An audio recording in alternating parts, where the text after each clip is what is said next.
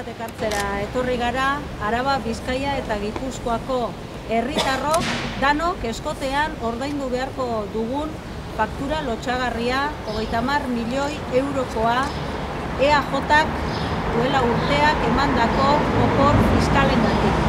Horren salaketa egitera etorri gara eta gogoratzera gatoz EAJari nahi zuzen ere ordaindu beharko dutela faktura hau eta guk herritar guztiok gure erantzukizuna ez den isun bat ordaintzera jarri.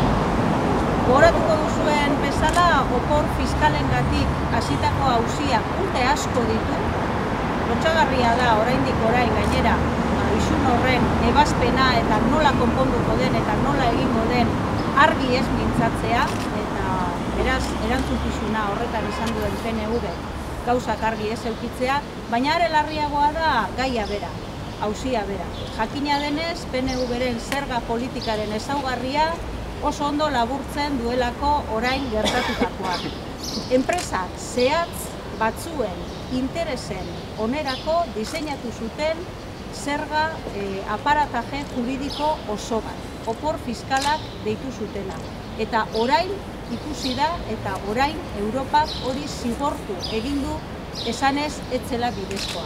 Laro gehi tamarreko amarkadan PNV uko egin zion herri honentzako benetako zerga e, ekitatibo eta progresiborako diseinu bat egiteari eta uko egin zion era berean herri honentzako politika industrial erreala benetakoa diseinatzeari eta horren ordez, enpresa haundi gutxi batzuentzako obariak eta oporrak diseinatu zituen.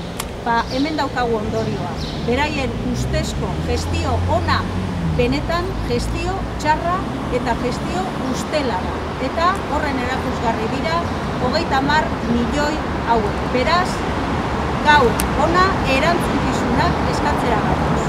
Bandika, ea jotari, eta baita ere bere zerga politikarekin bat egiten duten alderdi popularra eta alderdi sozialistari Eta horregatik uste dugu, faktura hau azkenean herritarro ordaindu beharko duguna, benetan beraiek ordaindu beharko dutela.